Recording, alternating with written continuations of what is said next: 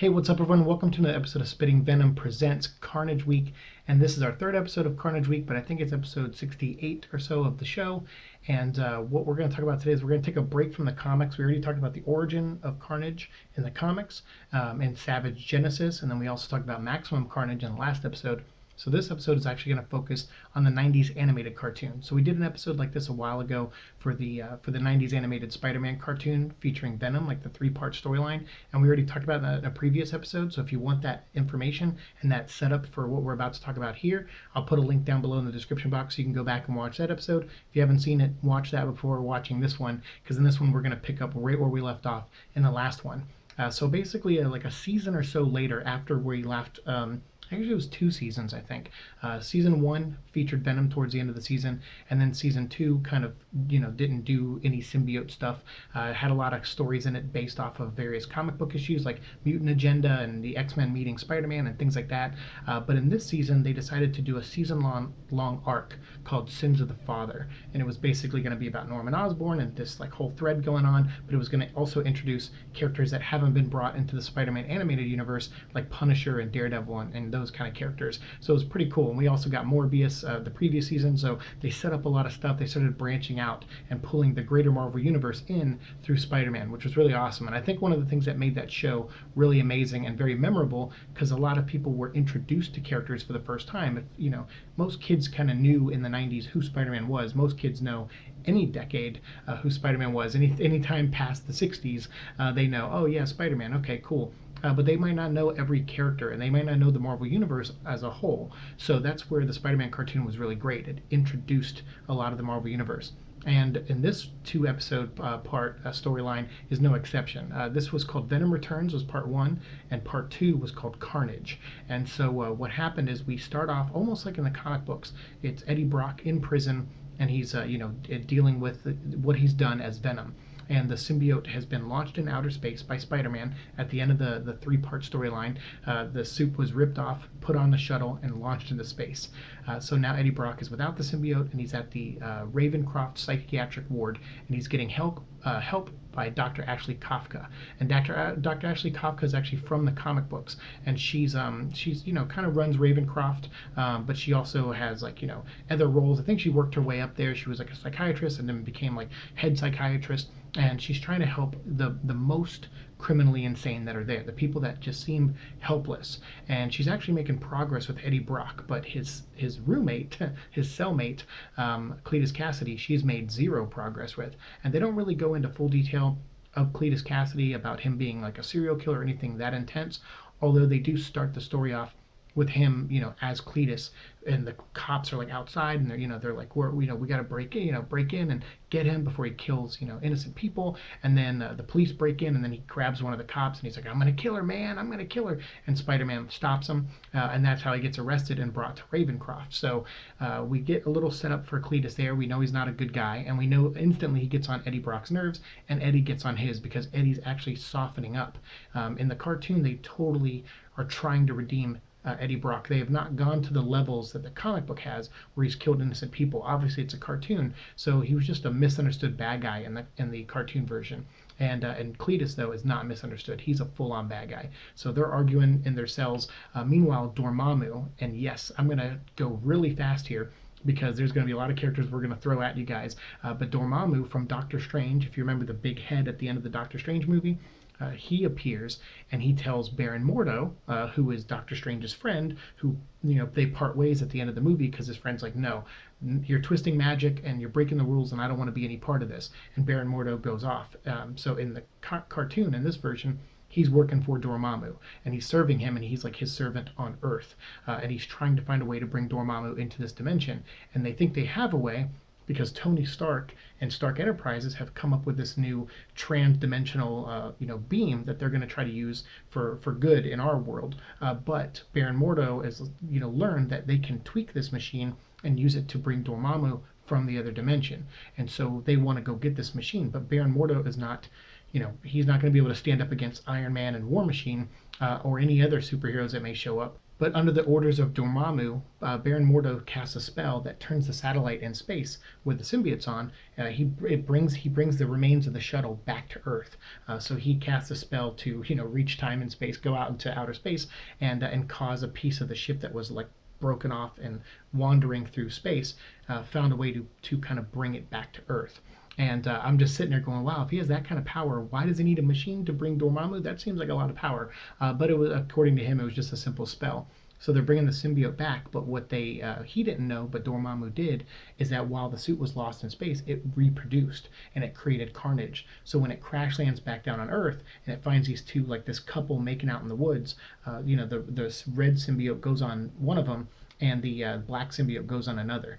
And those two go into Ravencroft and give the suits over to Eddie Brock and Cletus Kasady. And basically, uh, you know, uh, Baron Mordo says, "Look, you're going to serve Dormammu, my master, so I'll give you your suit back." Because Eddie's like, Jonesing. He's like, I, I, I want to do good, but I need the suit back, and the suit gave me power, and I could probably do some good with it now. And uh, he's fallen in love with Ashley Kafka, his doctor, uh, and so you know he's he's so torn. So uh, so Baron Mordo's like, look, I you can't be torn. You need to focus, and you need to do this. So we'll give you the suit back, but you got to do what I say.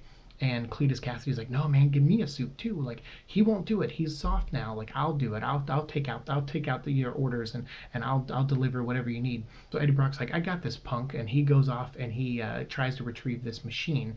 Uh, but when he gets there, he, you know, during a Stark presentation, uh, where Tony Stark's on a uh, you know screen and J. Jonah Jameson and Peter and everyone are in the audience to like watch and you know see what this thing can do.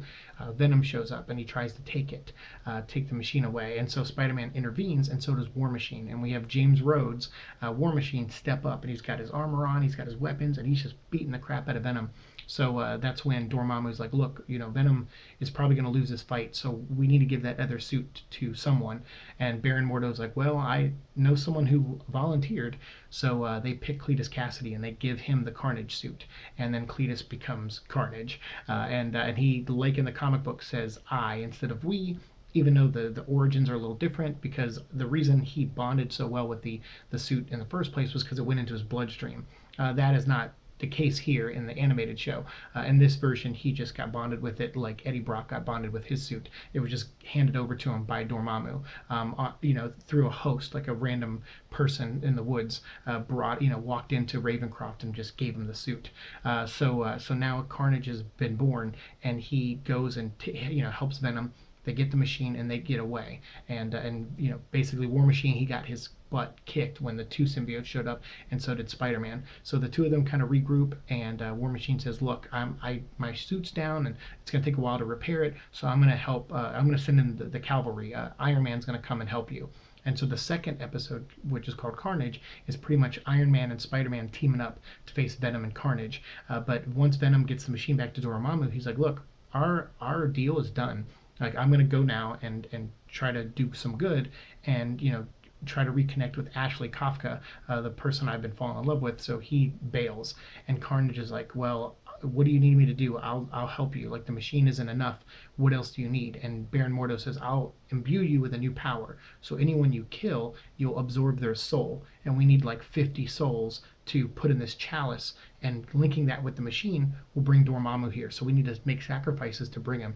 And Dor, you know, and Carnage is like, yeah, dude, you're gonna bring this big giant flaming head demon over here.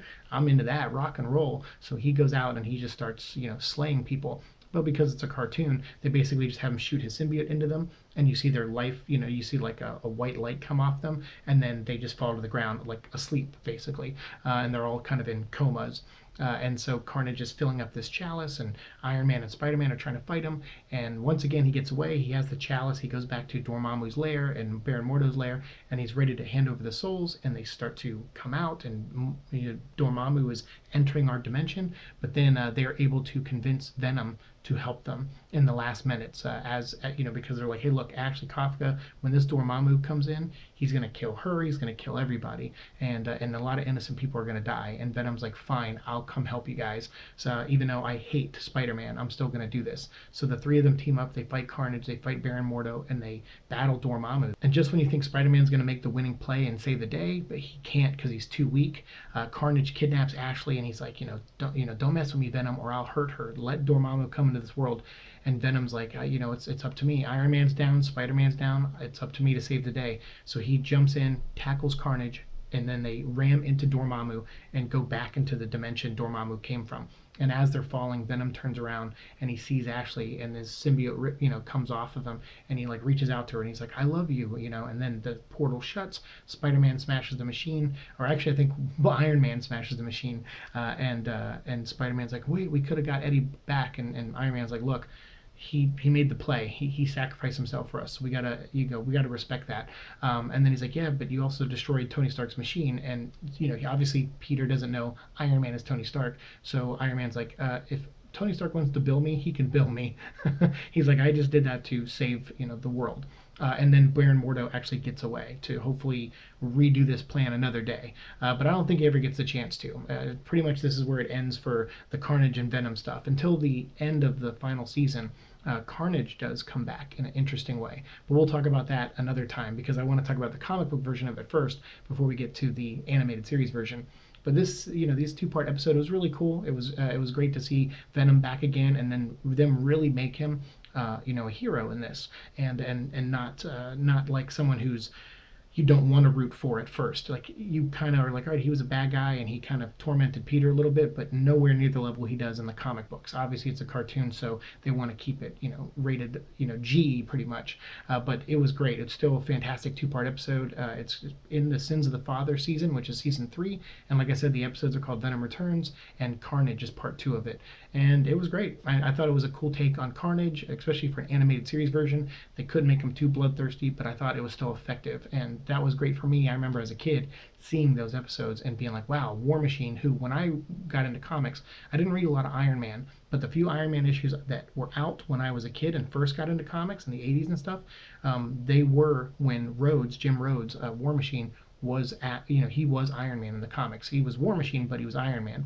because uh, Tony Stark was injured and he wasn't you know wearing the suit for a while. So it was cool for me because I was like, hey, awesome, I know who War Machine is. This is great. And then I remember when Iron Man showed up, I was like, oh, it's Iron Man. but like nowadays, I feel like if a kid watched it, you know, those episodes, they'd be like, hey, Iron Man's here. That that's super cool. Uh, but for me, it was like I got excited for War Machine because I knew who that was, and I was like, "Yeah, I like War Machine. He's awesome." Uh, but this episode and these two episodes are great. You can check them out. I think you can buy them on Amazon or Xbox or anything like that. You can find them and uh, and download them. I think they're like a dollar an episode or two dollars an episode, um, depending if you get high def or standard def.